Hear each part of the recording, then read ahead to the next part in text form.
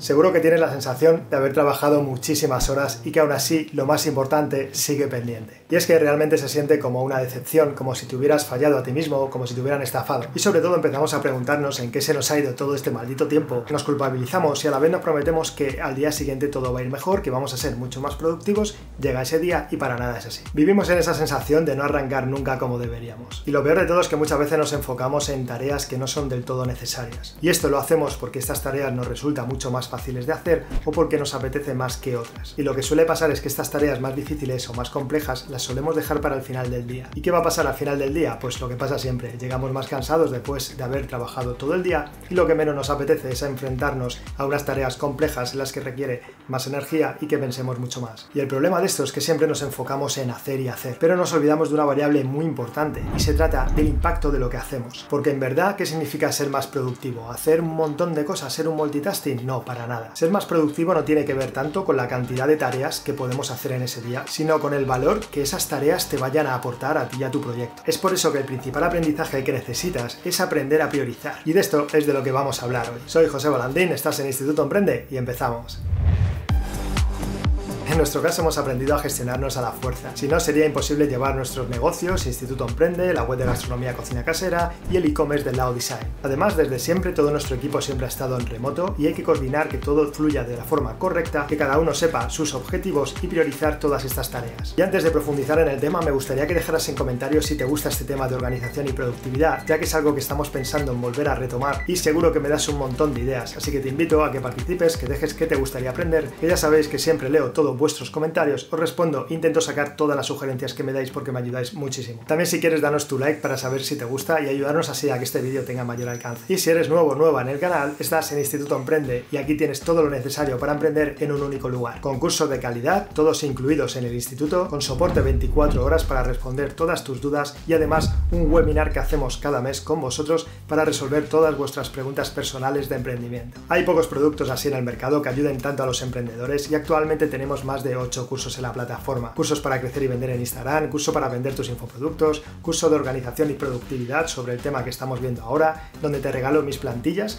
para que sepas hacer totalmente gratis la facturación de tu empresa, la contabilidad y además te regalo la plantilla donde gestionamos todos nuestros proyectos en remoto para que puedas ir avanzando paso a paso. Y como te digo, son totalmente gratis, no tienes que pagar plataformas extra, por lo que solamente el precio del curso ya estará más que amortizado. Sobre todo porque estas plantillas van a ser para ti, para siempre y no tendrás que recurrir, como te digo, a estos programas. Y lo mejor de todo es que hemos desbloqueado 7 días totalmente gratis sin que tengas que pagar nada para que lo pruebes. Te dejo abajo el enlace y también lo tienes en institutoemprende.com donde verás el registro y donde podrás empezar ya tu prueba gratuita. Al final no sirve de nada que yo todo esto te lo cuente, sino que quiero que lo compruebes por ti mismo. Así que apúntate ahora y empieza ya tu prueba gratuita y te veo dentro. Bien, y vamos ya con el vídeo y con todo lo que tienes que hacer para aprender a priorizar, porque te va a venir genial para tus proyectos y organizar tu día a día y sobre todo que sientas que te organizas bien, que sientas que estás impulsando tus proyectos. Esto lo que va a hacer es traerte poco a poco más autoestima y te enfrentarás a tus tareas de una forma más optimista porque ya sabrás cómo priorizarlas. Bien, lo primero que tenemos que ver es que aprender a priorizar implica decir sí a las tareas de alto impacto. ¿Por qué? Porque estas tareas son las que te van a ayudar a avanzar hacia tu objetivo. Y bien, ¿cómo identificar estas tareas? Una forma muy sencilla de hacerlo es usar la matriz de impacto-esfuerzo. Este método te ayudará a organizar tu lista de tareas pendientes y a definir en qué vale la pena invertir tu tiempo. Básicamente esto implica evaluar cada tarea que tengas que hacer con dos criterios. El primero de todos, el esfuerzo. Bien, para saber el esfuerzo que nos va a llevar a determinar esta tarea, requiere de dos preguntas y que te hagas un ejercicio de calificación. La primera pregunta es cuánto tiempo crees que te va a llevar a hacer esa tarea y la segunda es cuántos recursos y personas de tu equipo van a tener que estar involucrados. Y después tienes que hacer un ejercicio de calificación. Se trata de calificar el esfuerzo que te va a traer esa tarea en una escala del 1 al 10, donde 10 será el mayor esfuerzo requerido. Y el segundo criterio para evaluar la importancia de esa tarea es el impacto. Aquí igualmente también nos haremos dos preguntas y haremos este ejercicio de calificación. La primera pregunta que nos haremos se trata de pensar qué beneficios nos va a traer ejecutar esta tarea. Y la segunda pregunta que nos debemos hacer es saber qué utilidad realmente nos va a traer a terminar esta tarea para nuestro proyecto. Y igualmente califícala del 1 al 10, siendo el 10 el mayor impacto que vaya a traer esta tarea para tu emprendimiento. Bien, una vez que tenemos ya la lista clasificada con estas preguntas de esfuerzo y de impacto que hemos visto y clasificada del 1 al 10, nos va a arrojar la matriz. Y de esta matriz vamos a sacar cuatro categorías donde vamos a definir cada uno de los impactos en su mayor importancia. Bien, del primero de ellos se desprende impacto alto y esfuerzo bajo. Estas tareas son mis favoritas y podríamos llamarlas logros rápidos. Este tipo de tareas requieren muy poco tiempo y el beneficio que te pueden aportar es muy alto. Por ejemplo, un tipo de tareas de este tipo puede ser que un cliente potencial esté deseando contratar tus servicios o comprar algún producto y te escriba un email. Bien, pues entonces ponte lo primero de todo a responder este email. ¿Por qué? Porque se cumple la regla. Con muy poco esfuerzo puedes tener un gran impacto. Es decir, poco esfuerzo en responder a esas preguntas que te haga y gran impacto en haber conseguido una venta, ya que será un gran impulso para tu proyecto tener un nuevo cliente.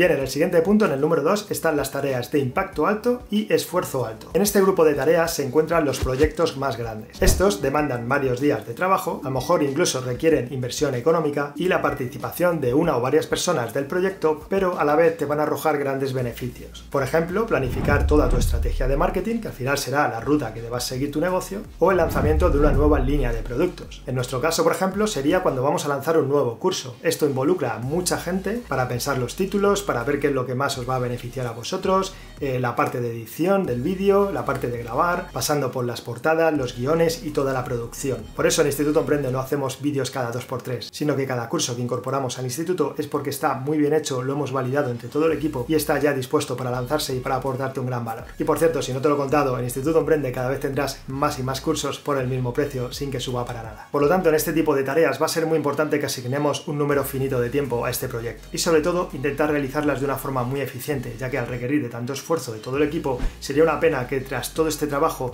no sirviera para nada. Aún así, piensa siempre que las podrás mejorar con el tiempo, como hacemos nosotros cuando hay algún curso que haya que actualizar, se actualiza rápidamente, pero es importante que lo hagas lo mejor posible a la primera para no tener luego que volver atrás muchas veces.